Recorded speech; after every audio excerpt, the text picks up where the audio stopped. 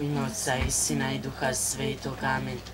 Oče naš koji jesi na nebesima, sveti se ime Tvoje, dođi kraljestvo Tvoje, budi volja Tvoja, kako na nebu, tako i na zemlji.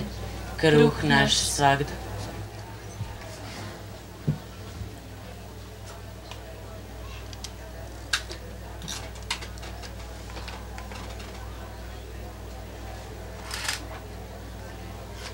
Koji jesi na nebesima, sveti se ime Tvoje, dođi kraljestvo Tvoje, budi volja Tvoja, kako na nebu, tako i na zemlji.